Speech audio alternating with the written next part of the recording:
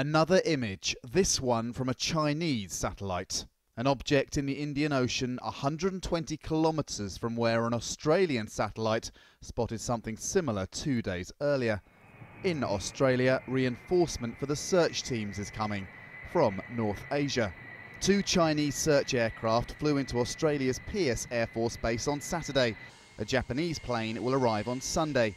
Nothing of significance has been spotted yet, but the search is winding up, not down. The media presence too, though it might yet get bigger. There are more Chinese colleagues will be here when we find something. Saturday saw more plane searching than on any day yet. They included two fast jets which can stay over the search zone for five hours. The military aircraft, which take four hours to reach the zone and four hours to get back, can only spend two hours actually looking. The far plane behind me will be the last to join Saturday's search. Combined, the six aircraft involved will have just 18 hours directly over the search zone. Over the ocean, while there is high-tech kit on board the military planes, the people on board are probably more valuable. We're looking at just plain old eyesight. We're looking at some of the best people at spotting, being at the window, looking out for things that radar won't find, plastic, seat cushions, these sorts of things that would be telltale signs of a, an aeroplane crash.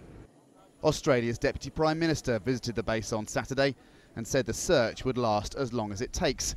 He batted away rumours that Australia has more satellite images that suggest a crash than it's revealing, or that it's holding anything back.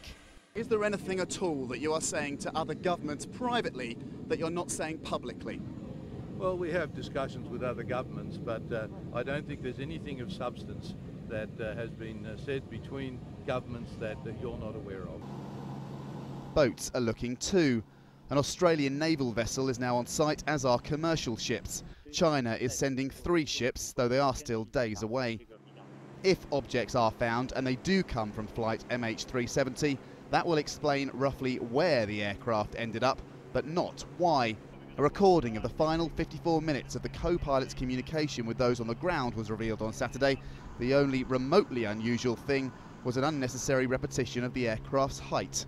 It's possible the where will lead to the why, and that is what this is all about. Andrew Thomas, Al Jazeera, Perth.